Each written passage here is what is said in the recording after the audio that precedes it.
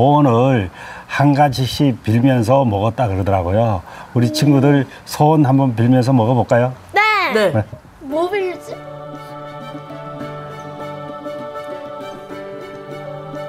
이제부터 발음을 정확히 해서 발표를 잘했으면 좋겠어요. 저는 남은 한 해 가족과 함께 행복했으면 좋겠습니다. 송편이 반달 모양인 이유는 더 밝은 미래를 기원하는 마음을 담기 위해서였어요.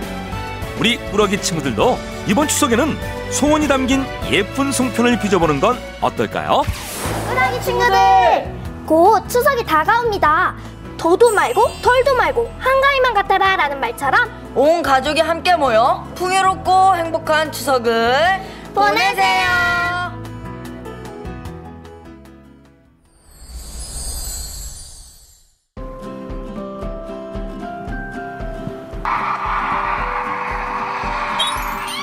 각자 좋아하는 것을 하며 여유롭게 시간을 보내고 있는 도연대원과 혜진대원. 우와, 야 혜진아, 이거 봐봐. 뭔데? 사과는 영상이야?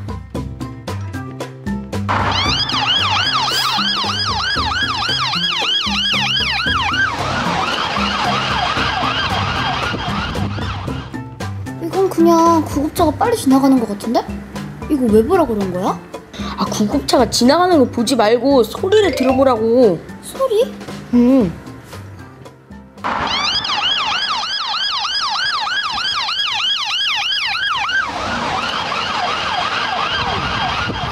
어, 어때 어때?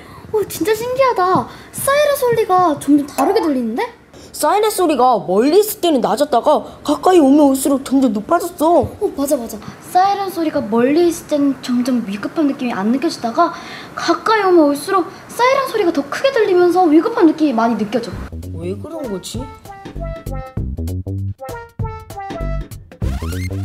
아무래도 내가 사이렌 소리가 많은 소방서에 가서 알아보고 와야 되겠어. 그래, 잘 알아보고 와. 어,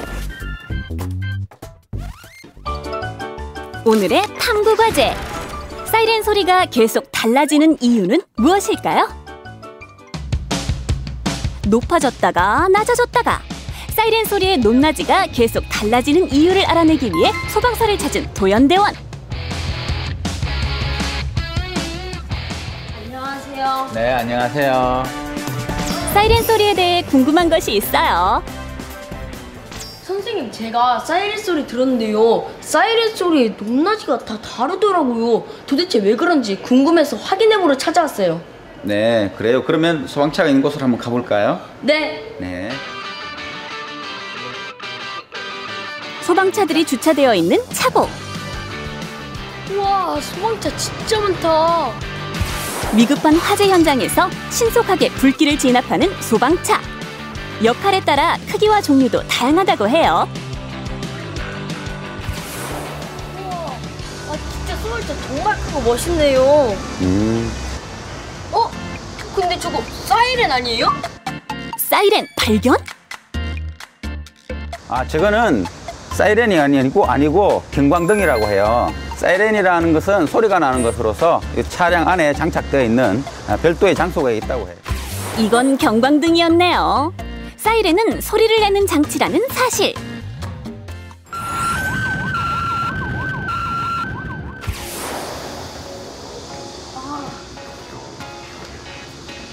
여기에 보면은 버튼이 이렇게 있는데 여기 앞에 보면은 여기에는 경찰음이고 여기에는 소방음, 여기에는 병원음, 기타 부조 등 이렇게 네 가지가 종류가 있습니다. 사이렌 소리가 하나가 있는 게 아니라 다 틀리네요. 네, 그렇죠.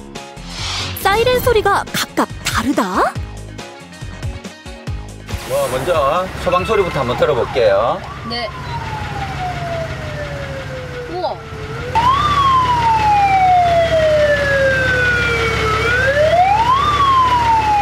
또 다른 음악 한번 들어보겠습니다. 자, 아까하고는 조금 더 빠른 속도가 들리, 빠른 소리가 들리죠? 네, 이것은 이- 바로 경찰음이에요. 아 경찰은 네.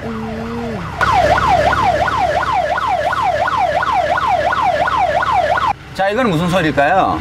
이거 병원 네, 맞습니다. 병원 소리죠.